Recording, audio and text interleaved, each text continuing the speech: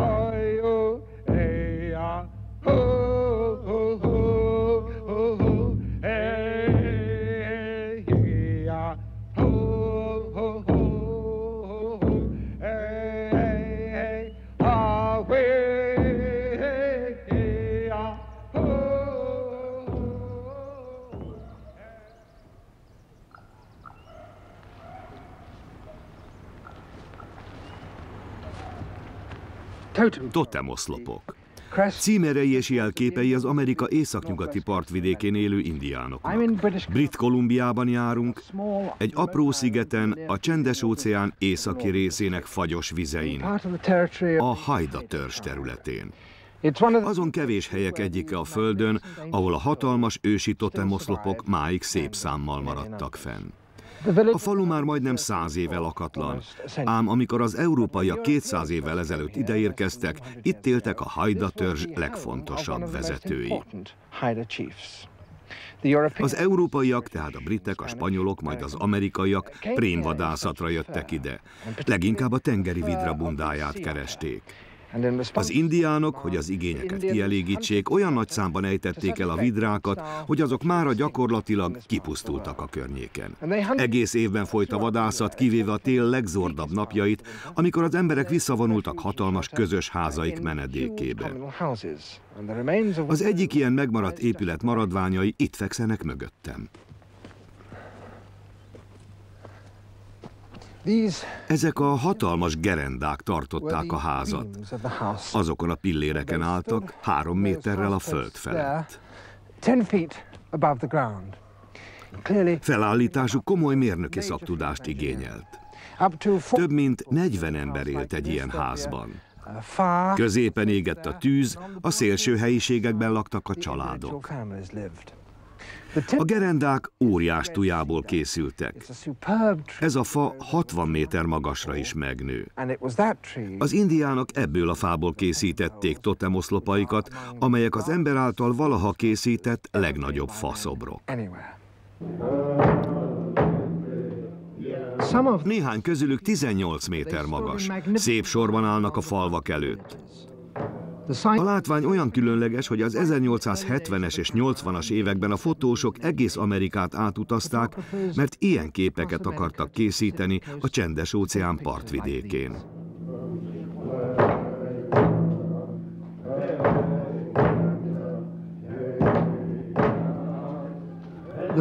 Egyikük összeállított egy archívumot, mely pompás képet ad a parton élőkről.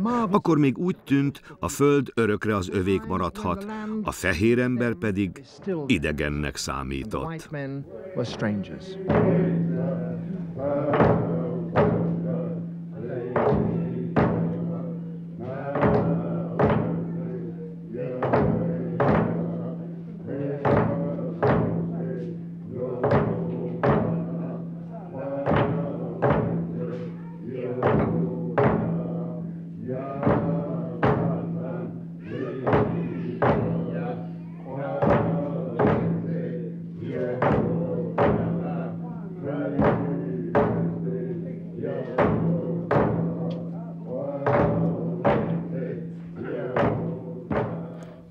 Ezeket az élénk, megható képeket Edward Curtis készítette. 1912 és 1914 között dolgozott itt, és ő hozta létre az addigi legteljesebb fotódokumentációt.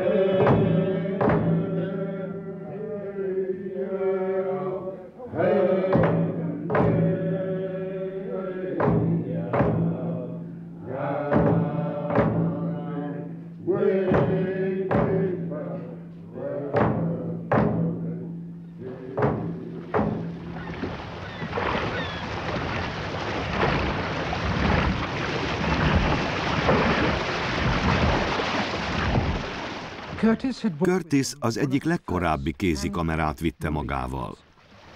Az időtájt a dolgok gyorsan változtak, ám ő összegyűjtötte azokat a helybelieket, akik még emlékeztek a fehér ember megérkezése előtti időkre. Ők még úgy táncoltak hatalmas kenúikon, akár a régiek, amikor szertartásos látogatást tettek a szomszédaiknál, vagy amikor háborúba indultak.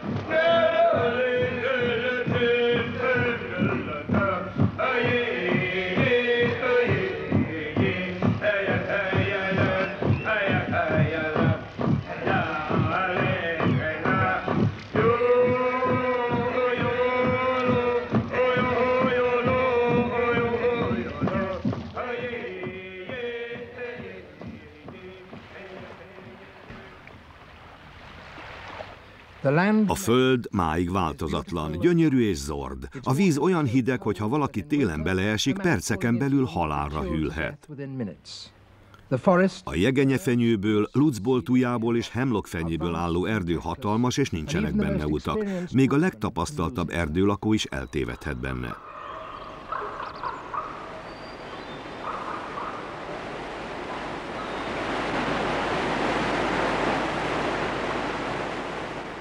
Ám ez a föld rendkívül gazdag, bőven akadt hús a vadászoknak, a gyakorlott csapdaállítók pedig a világ legfényűzőbb és legmelegebb prémjeire tehetnek szert.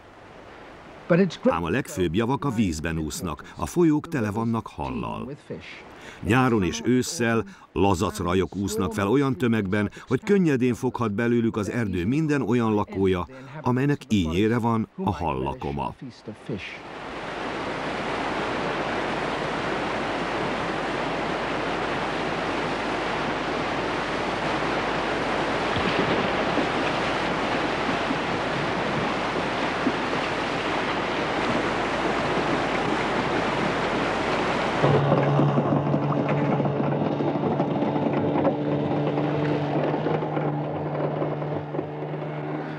A módszerek sokat változtak, ám ez a folyó, mint sok másik, ma is a hagyományos törzsi halászat színtere. Törvény írja elő, hogy csak azok a törzsek használhatják, amelyek mindig is itt haláztak.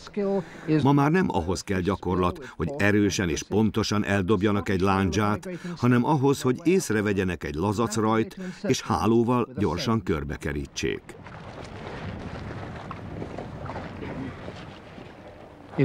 Némi szakértelem és szerencse segítségével egyszerre akár 50 lazacot is ki lehet így fogni. Szivárványos, kék hátú, kohó, királylazac és ketelazac. Mindenkinek megvan a kedvenc lazacfaja, ám felszeletelve és nyárson megsütve az összes finom. Az erdő nem csak fát, hanem fakérget is adott. A nyírfakérekből kosarat készítettek, a tujakérget széttépkedték, és textilt szőttek belőle.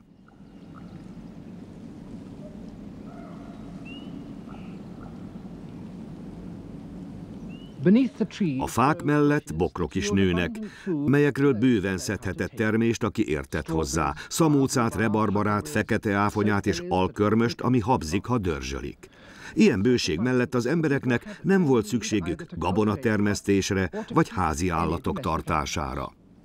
Ugyanakkor az erdő, amely ennyi mindennel ellátta őket, és amelytől annyira fügtek, sötét, rejtélyes és furcsa hangokkal teli. Nem meglepő tehát, hogy az emberek tudatában az erdő mindenféle látható és láthatatlan hatalomnak adott otthont.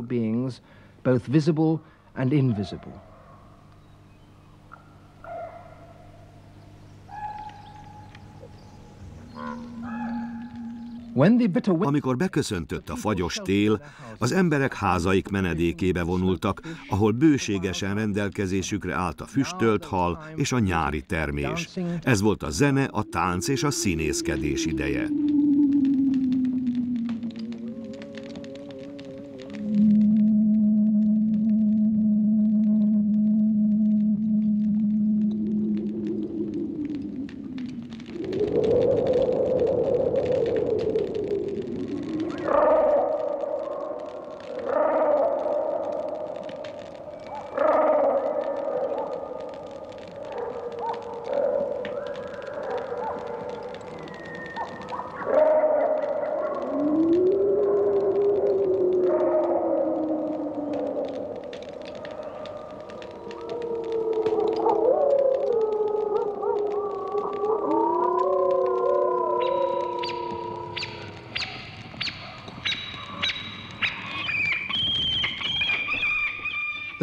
Az emberek mesterei voltak a színjátszásnak.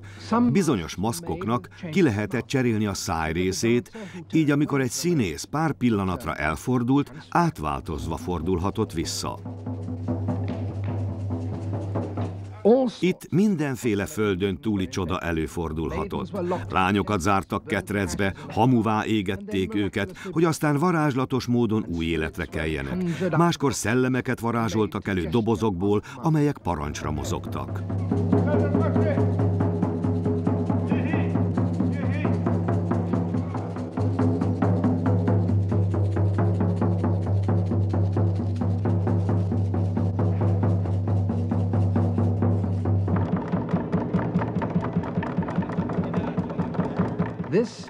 Mennyei horgascsőrű egy hatalmas emberevő madár, az egyik legerősebb karakter a hagyományos színdarabokban.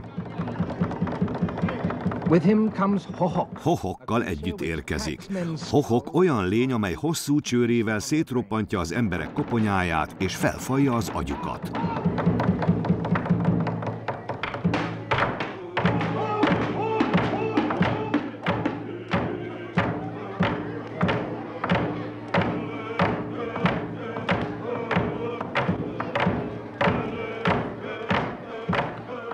A borzalmas trió harmadik tagja egy természetfeletti holló, amely kikaparja az emberek szemét.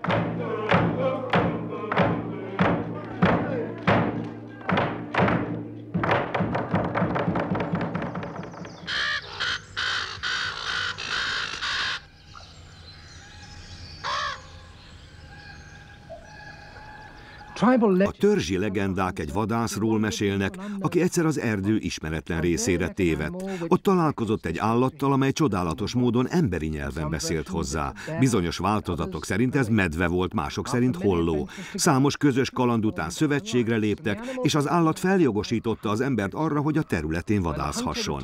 Amikor a vadász visszatért az emberekhez, emléket állított a szövetségnek és a jogainak, címernek választotta az állatot, képét pedig egy totemoszlopra faragta. Leszármazottai azóta is minden évben ráemlékeznek a téli táncok idején.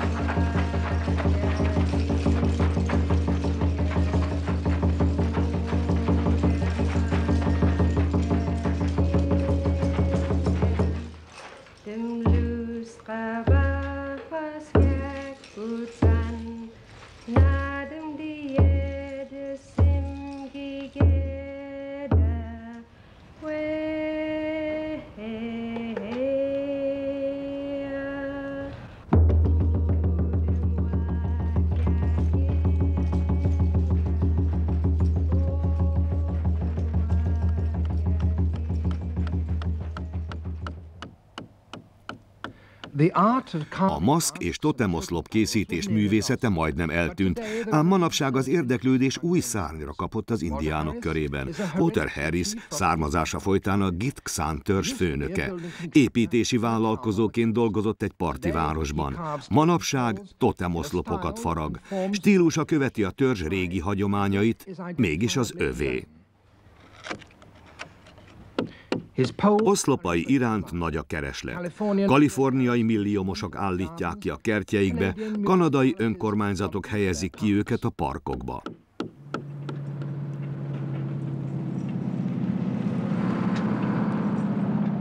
Ez a darab azonban nem extravagáns ajándék, és nem is egy megrendelt városi díszítőelem. Walter Harris a törzs egyik asszonyának kérésére készítette, aki ezzel szeretne az ősei előtt tisztelegni. Úgy kívánja kinyilvánítani jogait, hogy totemoszlopot állít, akár csak hajdan elődei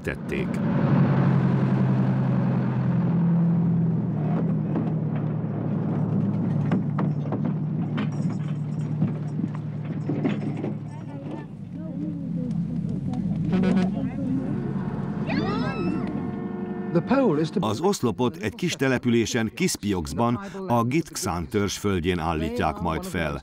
Ez az egyik legészakibb indián csoport. Az alaszkai határ mentén 200 kilométeren belül élnek. Még ma is úgy húzzák fel a több tonnányi fát, mint a régi időkben. Nem kell hozzá más, csak kötél, gerenda és emberi erő.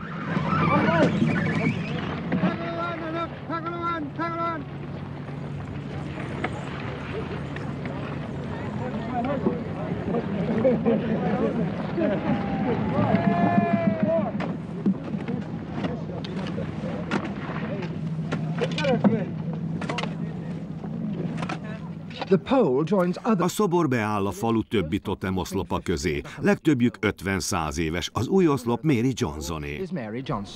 Ezt az oszlopot Gillestnek hívják.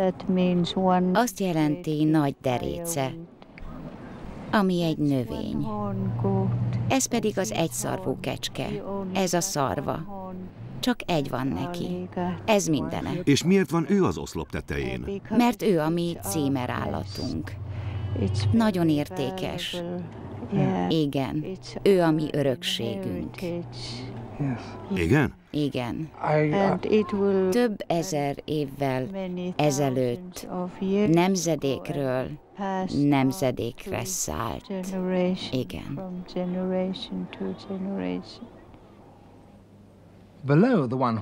Az egyszarvú kecske alatt négy kép látható a grizzly emberről, aki egy fülcsigákból fűzött láncot visel. Alatta látható a fehér karcárnyú delfin hátúszójával, elől a légzőnyílásával, látjuk a szemeit és a fogakkal teli száját. És végül egy síró, éhező asszony tart egy fajdot. Mindannyian féltve őrzött címeralakok, melyek kifejezik Mary Johnson származását.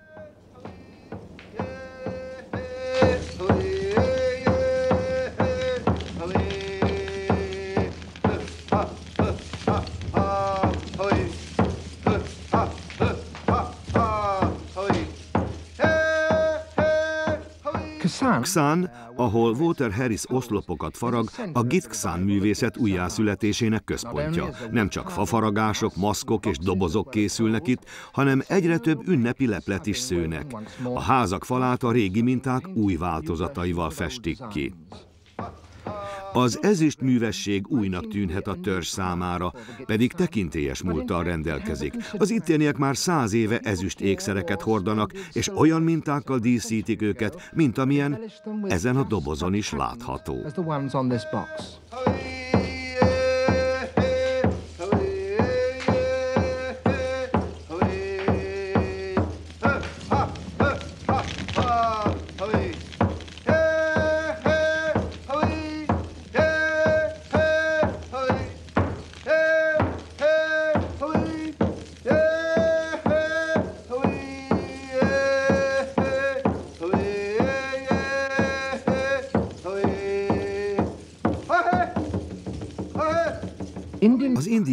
Művészek legtöbbször állati formákból merítenek ihletet, melyeket először nehéz felismerni. Valójában azonban nagyon szigorú szabályok szerint tervezik meg őket. Ez szintén a karszárnyú delfin, ám ezt egy hajda művész rajzolta a Gitxán törzs szomszédságából. Hatalmas a hátúszója, ahogy Mary Johnson oszlopán látható, vérengző a fogazata, és megvan a légzőnyílása is. Bill Reed munkáját dicséri. Mi ez? Ez egy kicsit nehezebb. Ám ha az ember már ismeri az adott állatot, sokkal könnyebben felismerhető. Ez egy macskacápa. Nagyjából egy méter hosszú. Itt alulról látható. Tipikusan lefelé irányuló cápaszáj. A tetején lévő körök az ornyílások. Ám itt emberszerű orrot kapott, ezért emberi arcra hasonlít. A háta közepén arc látható. Mit keres ott? Az valójában a hasa. Á, szóval arca hasa közepén. A bonyolult alkotásoknál, ha ki kell töltenünk egy helyet, valami olyannal töltjük ki, ami arcra hasonlít. Az ilyen lényekről úgy gondolták, állati és emberi jellegzetességeik is vannak. Ez nem igazi macskacápát ábrázol, hanem egy mitológiai állatot, ami a legendákban is szerepel. Ön ezeket a különleges stílus elemeket különböző tárgyakhoz használta fel. Ott látható néhány gyönyörű aranyból készült munkája. Az milyen doboz? Nos, ez egy régi típusú doboz másolata. Eredetileg tálnak használták, a nagy lakomákon ebből osztották az ételt. Annak idején fából készült. Ezt egy hódról mintázták. A két nagy elülső metszőfogáról lehet felismerni. Érdekes, hogy mire használták ezeket az alkotásokat. Ezzel a darabbal a folyamatos trükközésnek akartam emléket állítani. Tudja, a szemfényvesztés fontos szerepet játszott a művészetben. Az egyik módja ennek az volt, hogy a doboz két oldalát ilyenre csinálták. Ha megfordítja a dobozt, úgy tűnik, mintha két oldal szimmetrikus lenne. Pedig valójában teljesen különböznek. Arcuk van. Arc ezen az oldalon, arc azon az oldalon. Ám a kettő különböző, szóval mindig vissza kell nézni. Nagy meglepetést okoz, amikor az ember rájön, hogy a két elem különböző.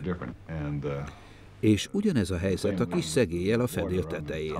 Olyan, mintha szimmetrikus geometriai szegély lenne, de valójában mindegyik sarok különbözik a másiktól.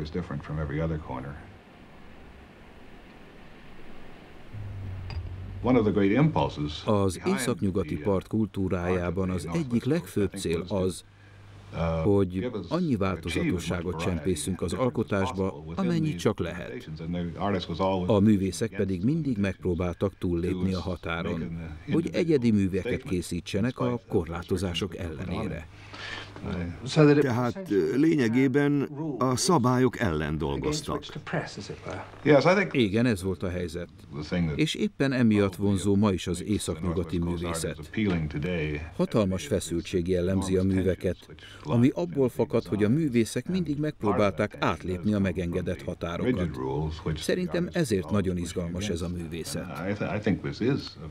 Úgy gondolom, valahogy ki kellett fejezni a társadalom feszültségét, ellentmondásosságát és aggodalmait.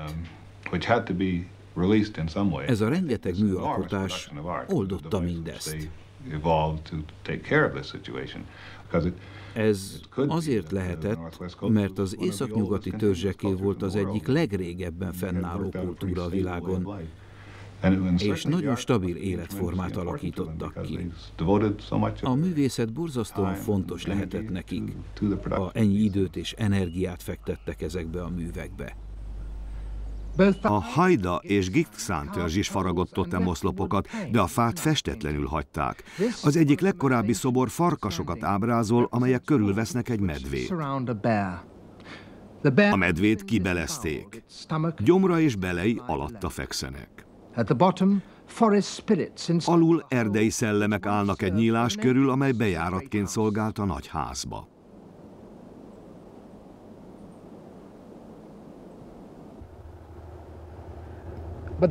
Ám ez az oszlop nagyon más, mint a többi. Erőteljesen faragták ki három dimenzióban, és csodálatosan kifestették. És azért más, mert 500 kilométert utaztunk délre egy másik vidékre, a Kwakiutl törzsföldjére. Ez Alert Bay majdnem az egyetlen hely északnyugaton, ahol a fafaragás, a tánc és zene napjainkig a régi szokásokat tükrözi. Ez az oszlop jó példája a tovább élő hagyományoknak. Talán ez a legszebb még ma is álló oszlop, pedig nem is olyan rég készült, valamikor a 20. század elején. Willis Seaweed az egyik legjobb Quaikutl fafaragó készítette. Zunukvát az erdő vadasszonyát ábrázolja, akinek huhogás közben lebigyedő vörös ajkait láthatjuk. Hangját állítólag még mindig lehet hallani az erdőben. Fején látható egy másik emblematikus figura, a viharmadár.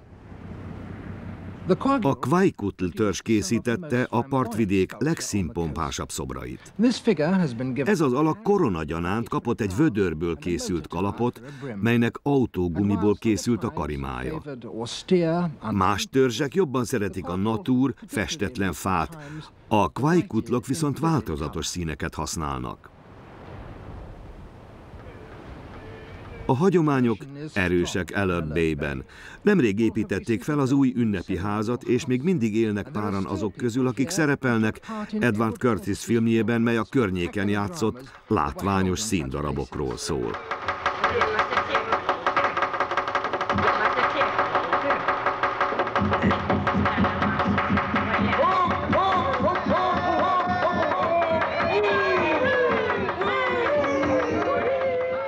A jólét volt a legfontosabb dolog a partvidéken.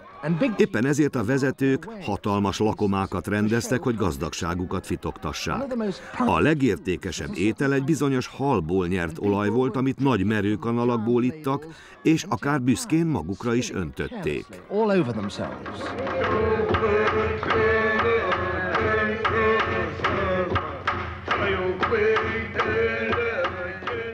Olykor ünnepségeket rendeztek, melyeken új jogokat, rangot vagy címet ruháztak az egyik főnökre. Akik eljöttek megnézni egy ilyen rendezvényt, nem csak a lakomán vehettek részt, hanem különleges ajándékokat is kaptak. Sokféle dolgot adtak egymásnak, edények és pokrócok százával, lisztelteli zsákok tonnái, bútorok, bankjegyek, sőt akár kenu képezték ezeket az ajándékokat. A bőséges ajándékozás Európában és máshol sem ismeretlen. Ez az egyik módja a tekintély megszerzésének, és annak, hogy valaki bekerüljön az arisztokrácia tagjai közé. Itt is ez volt a helyzet.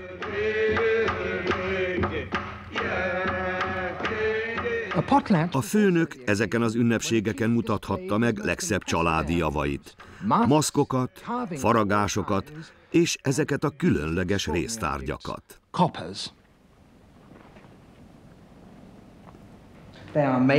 Rézlemezekből készültek. Néhányra még festettek is. Vannak, amelyek elég egyszerűek, de mind nagyon értékes. A résztárgyak bemutatása lehetett az ünnepség csúcspontja. Egy résztárgy annál értékesebbnek számított, minél több ünnepségen mutatták be. Olykor az egyik főnök felajánlotta vetétársának, hogy vegye meg valamelyik résztárgyát. A másiknak annyit kellett érte fizetnie, mint amennyibe legutóbb került, és még egy kicsit többet, mert ha nem tette, nagy szégyenbe került. Némelyik résztárgy értéke több ezer dollárra rugott. Kicsit olyanok, mint a bankjegyek. Önmagukban értéktelenek, de hatalmas összeget képviselnek. A 19. század végén a jólét addig soha nem látott méreteket öltött az északnyugati partvidéken. A nagy főnökök, a fehér emberek kereskedelmi központjai körül gyülekeztek. Heves vetélkedés alakult ki köztük, mivel mindenki oroszlán részét kívánta a gazdagságnak. A rivalizálás az ünnepségekre is kihatott, melyek már nem pusztán a fényűzésről, hanem a javak elpusztításáról is szóltak. Az ünnepségeken összezúzták az edényeket, elégették a bankjegyeket, széttépték a pokrócokat, és még a résztárgyakat is széttörték. Azután az értéktelen maradványokat gőgösen átnyújtották a másik félnek. Ha az nem akar szégyenben maradni, a rézzel azonos értékű, sőt egy kicsit értékesebb dolgot pusztított el a saját vagyonából. Ismertem egy asszonyt uh, Village Islandről. Ő volt az egyik legmagasabb rangú hölgy. Lucy Brown, Lucy Brown jól emlékszik néhány ilyen rivalizáló ünnepségre. Szerintem a bátyja rangját szerezte meg, mivel az meghalt. Kislányként láttam őt, rokonom volt. Megkérdeztem tőle, mit csinál. Fogott egy résztárgyat, és kalapáccsal neki esett. Az arca teljesen fekete lett. Kérdeztem, mit csinálsz? Erre ő, meglazítom, így később nem lesz nehéz belül széttörni. Kibontotta a haját, és besétált ezzel a rézzel. Mindnek van neve. Az egyik rezet Luby Hillnek hívták. Ez mit jelent? Azt jelenti, a férfinak, aki volt, minden ráment. Tudja, nem maradt semmije. Mindenét odaadta azért a rézért, csak hogy az övé legyen. A kormány elhatározta, hogy véget vet ennek a gyakorlatnak. Az ilyen ünnepségeket betiltották. Ám a Kwaikutlok nagyon ragaszkodtak a hagyományaikhoz, ezért a tiltás ellenére 1921-ben hatalmas ünnepséget rendeztek egy félreeső faluban. Nem sokkal utána a helyszíre érkezett a kanadai királyi lovasrendőrség. 30 embert letartóztattak, több mint 800 maszkot és koronaékszert elkoboztak. Az emberek haragja az egekig csapott. Kampányt indítottak hagyományos jogaik és örökségük helyreállításáért. Az ünnepségeket újra engedélyezték, ám az értékes tárgyakat még mindig nem adták vissza. Az emberek most filmet készítenek, hogy a nyilvánosság elé tárják az ügyet. Múzeumot is építenek, hogy legyen hova kiállítani a tárgyakat, ha végre visszakapják őket. De legalább az ünnepségeket újra megtarthatják, amelyeken megszerezhetik és kinyilváníthatják az új rangokat és pozíciókat. Alert Bay ma egy vagyonos falu jól működő halászflottával, amelyet jó módú emberek laknak. Tisztelik és támogatják a törzs arisztokratikus rendszerét.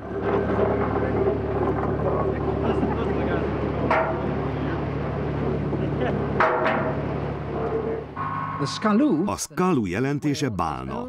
A hajó Arthur Dick tulajdona, aki az egyik legfontosabb Bay család feje. A család a Kwaikutl hagyományok fő támogatója. Mint szinte mindenki az öbölben, Arthur is a halaknak köszönheti vagyonát. Amikor kimegyünk, tudnunk kell merre tovább és mikor, különben nem leszünk jó halászok. A megfelelő idő, ismerni kell a pontos helyet és annak a megfelelő idejét. Meg tudom mondani, hol és mikor bukkannak fel a halak. Benne van a naplomban, minden évben felírom. Pontosan a megfelelő időben. Így sosem téved az ember. Ha maga halász lesz, odaadom a könyvem, így nem tévedhet. Ó, köszönöm. Minden évben ugyanazon a Tudom, napon hogy ünnepséget fog rendezni. Ezek az ünnepségek a tiszteletről szólnak, ezt el akarom mondani. Az idősebbek iránti tiszteletről szólnak, valójában azt jelentik. Egy csomó értékes dolgot elajándékoz, ugye? Igen, nagyon sok mindent. Amikor az ember ilyet rendez, sokan jönnek el. Aki nem jön el, nem tiszteli a házigazdát. Míg Arthur körbejár a szigeten, hogy megbizonyosodjon róla, a vendégek tényleg eljönnek, addig otthonában folynak az előkészületek. Számos történet kering az emberekről, akik az ünnepére készülnek. Ron Hamilton az egyik vendéget felkérték, hogy fessen egy képet, mivel ő igen híres művész. Az ember fülébe jut, hogy valakinek kell egy maszk. Ezt a maszkot egy nap alatt előállítják, olykor néhány óra alatt. Hallottam olyan emberekről, akik a tengerparton való üldögélés közben faragnak ki egy maszkot, vagy festettek meg egy képet. A képeket egy éjszaka festették, összesen ennyi idejük volt rá. Szóval ugyanúgy, mint napjainkban, régen is éltek nagy művészek, akiket mindenki ismert. Ó, igen. Tehát a művészek versengtek azért, hogy elkészíthessék ezeket a műveket a hasonló ünnepségekre. Igen, biztos versenyeztek, de sokan össze is dolgoztak. Ebből állt a verseny. Ez hold biztos.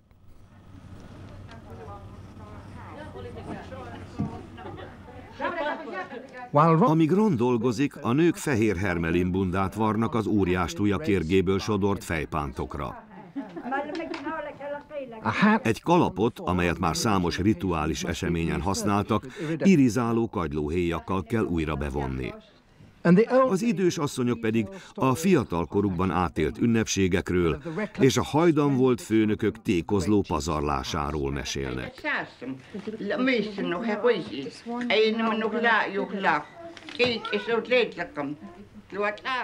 Egy hátsó szobában pedig a mennyei horgas csőrű várakozik.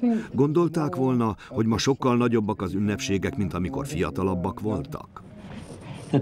Amikor ez az egész törvénybe ütközött, amikor az emberek féltek ilyesmit tenni, akkor nem volt jó indiánnak lenni. De ez már a múlté. A helyzet már a sokat javult. Az emberek jobban elfogadják az indiánokat. Az ünnepségeket betiltó törvényt eltörölték. Az indián gyerekek iskolába járnak, és fehér emberek tanítják őket. Mindenki azt mondja, hogy az indiánok művészete gyönyörű. A táncok gyönyörűek, a dalok gyönyörűek, a házak gyönyörűek. Szerintük minden csoda szép. És ha ezt egy idegentől halljuk, talán jobban elhisszük, mintha csak a saját családunktól hallanánk. Persze, van, ami kínos. Az egyik unoka hugom iskolájában zajlott ez a beszélgetés. Te ki vagy? Egy indián. Aha. Indián neved van? Nem. Az indiánok nyelvét beszéled? Nem. Indián házban élsz? Nem. Akkor hogy lehetsz indián? Mitől vagy te indián? Látja? Ez zavarba ejtő. Ezért az indiánok szeretnének többet megtudni a saját életmódjukról. Arthur Dicknek nem kell aggódnia, hogy vajon hányan jönnek el az ünnepségére. A ház egészen tele van.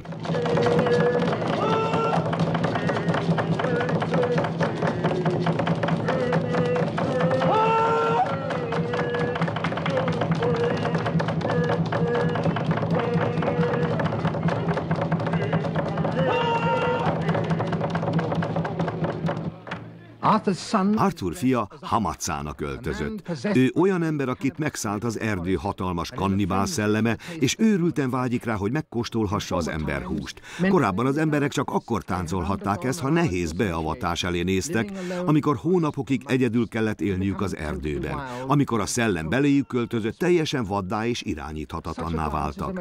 Az ilyen tánc a Dick család egyik legértékesebb előjoga, és egyben az este első és egyik legfontosabb eseménye. Thank you.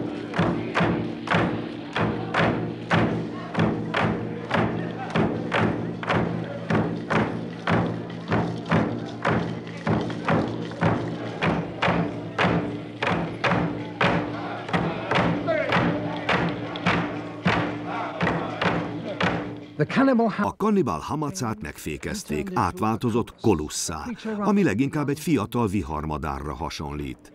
A család nő tagjai mögötte táncolnak.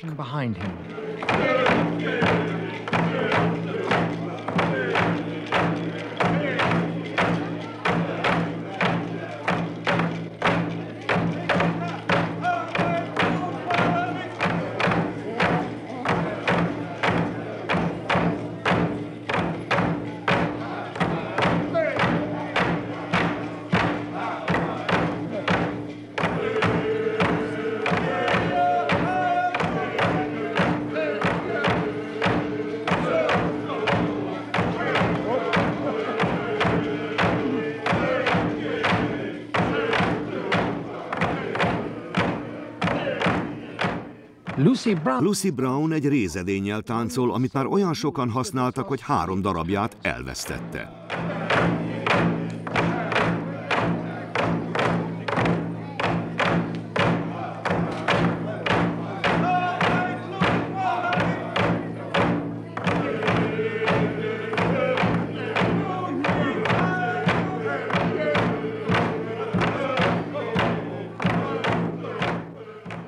Ron Hamilton képét állítják ki először. Mindenki tudja, hogy ő festette. Mostantól ez a kép is a Dick család vagyonának része, és minden ünnepségen ki fogják állítani a család többi értéktárgyával együtt. Arthur egyik unokája táncol előtte fején a felújított kalappal. A táncnak ez a formája a Dick család kiváltsága. Egyik elődjük ugyanis nemzedékekkel korábban elvett egy nőt a Nutka törzsből, amely a Kvaikutlok nyugati szomszédja. Az emberek szemében nagy érték, hogy joguk van ehhez a tánchoz. A férfiak néha két vagy három nőt is elvettek csak az előjogok kedvéért, amelyeket magukkal vittek a házasságba.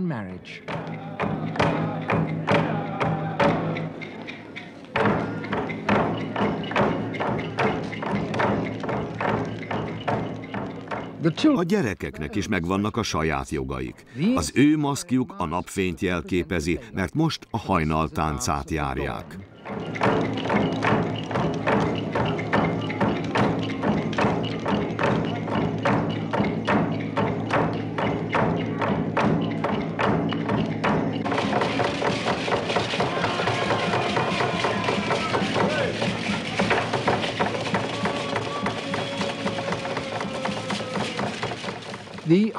Ők a Kvekvaxvík férfiak csörgővel, ami fésükagyló héjából készült. Ezt a táncot a Szelis törzs tagjaitól vették át, akik tőlük 350 kilométerre délre éltek. A kvajkutlok közül több család is járhatja ezt a táncot, mivel annak idején több házasság köttetett a szelisokkal.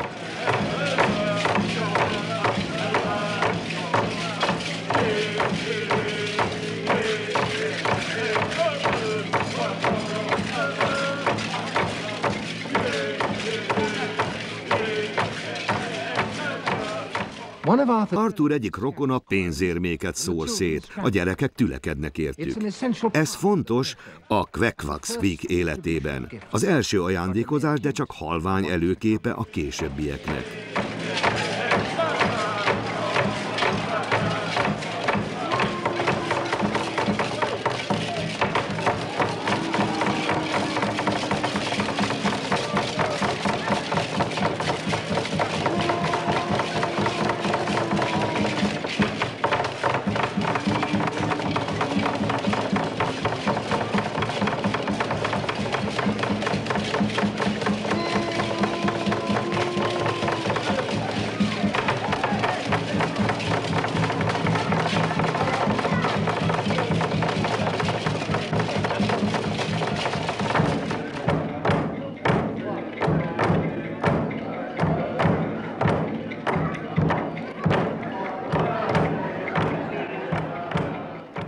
És most következik egy másik hamatsa. Egy idős férfi, akit sok évvel ezelőtt vontak be a hamatsa szertartásaiba, amikor még sokkal szigorúban ragaszkodtak a régi szokásokhoz.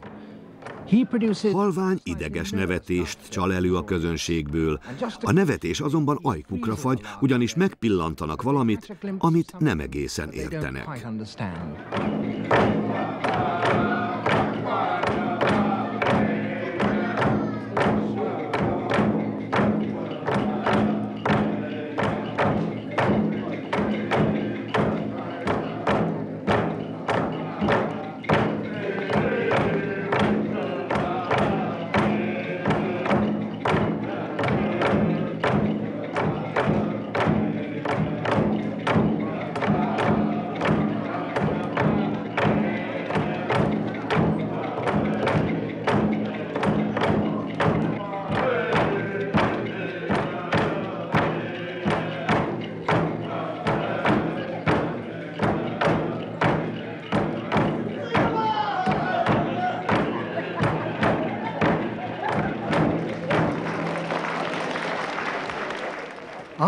Arthur Dick új szerzeményei magas rangú vezetővé emelik őt.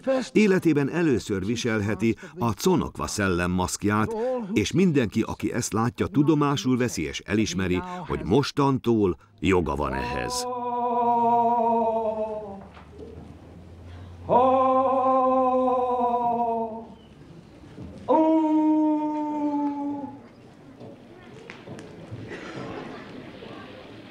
Azt a résztárgyat is elfogadja, amely a Lucy Brown táncolt. Azért kerül most hozzá, mert a fia hamarosan nősül, és a menyasszony családja ezt is felajánlotta hozományként. Ám nem az igazi, ha az ajándékot valaki csak úgy megkapja otthon. Az ünnepség során kell átadni, így mindenki láthatja. Egy közeli falu főnöke beszél.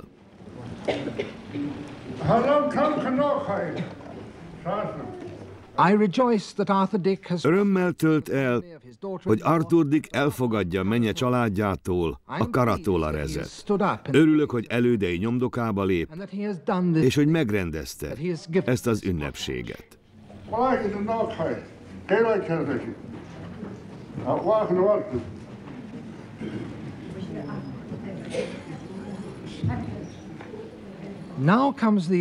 Most következik az ajándékok kiosztása mindazoknak, akik tanúi voltak Arthur Dick beiktatásának.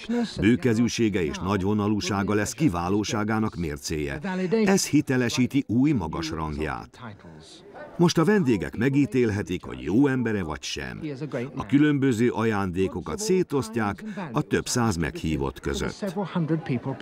A fontos emberek fontos ajándékokat kapnak. Mindenkinek jut valami, Edények, konyharuhák, kötött sapkák, rádiókészülékek, vödrök, tálak és dollárkötegek.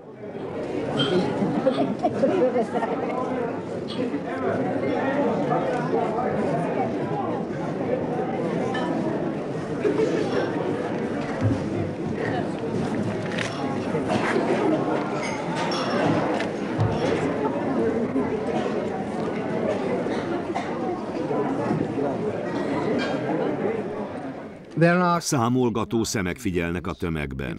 Nyilvánvaló, hogy Arthurnak több ezer dollár értékű ajándékot kell szétosztania. A vendégek azzal, hogy elfogadják ezeket az ajándékokat, Arthur új rangját is elfogadják.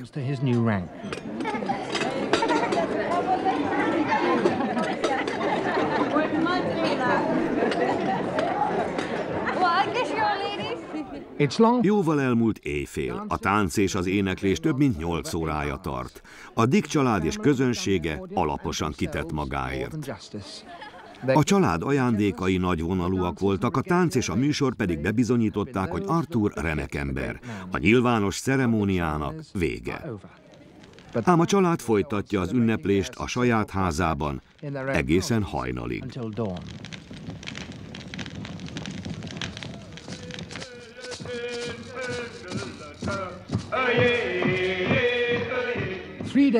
Három nappal később a mennyei horgascsőrű ismét táncol, most éppen az új halászszezon kezdetének tiszteletére. Az ünnepélyen Skalu úgy van feldíszítve, mint a flotta többi hajója. Zászlók lobognak az árbócon, táncosok ugrálnak a fedélzeten.